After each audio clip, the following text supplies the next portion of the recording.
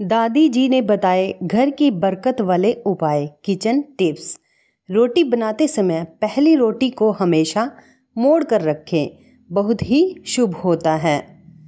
खाना कभी भी जूता या चप्पल पहनकर नहीं पकाना चाहिए। रोटी बनाते समय तवे को पहले अच्छी तरह धोकर साफ़ करें। उसके बाद तवे पर एक चुटकी नमक डालकर रोटी पकाना अच्छा होता है। मटर पुलाव या फिर बिरयानी बनाते समय पकाने वाला बर्तन हमेशा बड़ा लें। जैसे यदि आप एक किलो चावल का पुलाव बना रहे हैं तो आप पाँच लीटर का बर्तन लें। इससे चावल टूटेगा नहीं। यदि आप पुदीना सुखाकर स्टोर करना चाहते हैं तो पुदीने को इकट्ठा करके जड़ से बांधकर छाया में उल्टा लटका दें। और थोड़ा सूख जाने पर उसकी पत्तियों को अलग कर लें और किसी एयर टाइट डिब्बे में रखने से साल भर तक इस्तेमाल कर सकते हैं।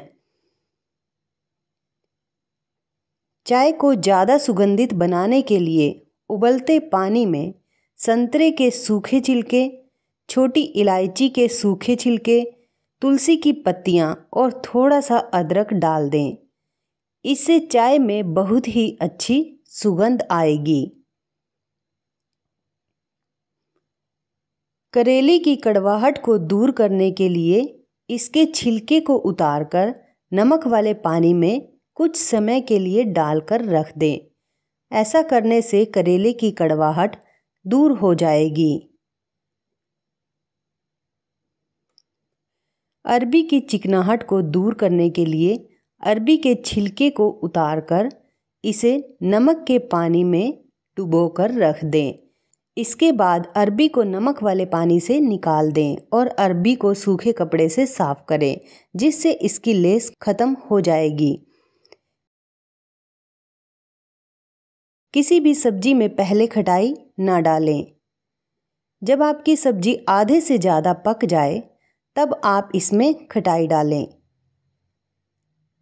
पहले खटाई डालने से आपकी सब्ज़ी अच्छे से नहीं गलेगी। अगर आप सब्ज़ी में नींबू का प्रयोग करना चाहें तो आप सब्ज़ी में नींबू तब डालें जब खाना रेडी हो जाए, नहीं तो इसमें विटामिन सी नष्ट हो जाता है। आमलेट को बनाते समय इसमें एक चम्मच दूध मिला दें। जिससे हमारा आमलेट मुलायम और सफ़ेद बनेगा। हरी सब्जियों को उबालते समय इसमें थोड़ा सा नमक और चुटकी भर चीनी मिला दें, जिससे सब्ज़ी का हरा रंग बरकरार रहता है। आलू को उबालते समय पानी में थोड़ा सा नमक डाल लें और ऐसा करने से आलू फटेंगे नहीं। और इसका छिलका भी आसानी से उतर जाएगा। नारियल की बर्फ़ी बनाते समय दूध की जगह मिल्क पाउडर का इस्तेमाल करें। छोले और मटर को जल्दी से उबालना हो तो इसमें नारियल तेल की तीन से चार बूंदें इस्तेमाल करें। इससे हमारे छोले और मटर जल्दी से उबल जाएँगे।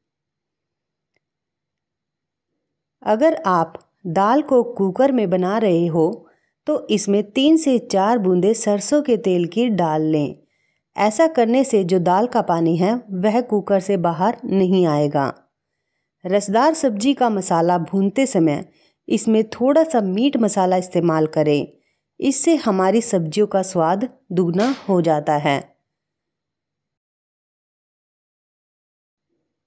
पूरी का आटा गूंथते समय इसमें थोड़ी चीनी, नमक और अजवाइन और फिर रिफाइंड तेल डालें।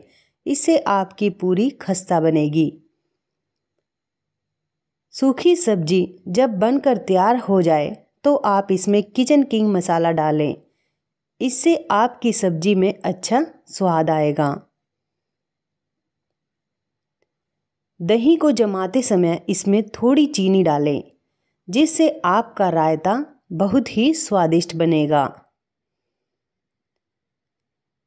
आटे को गूंथते समय पानी में आधा कप दूध मिलाएँ और इस पानी से आटे को गूंथें।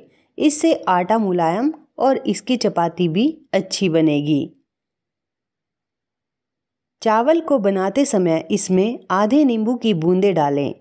इससे चावल खिले खिले बनेंगे।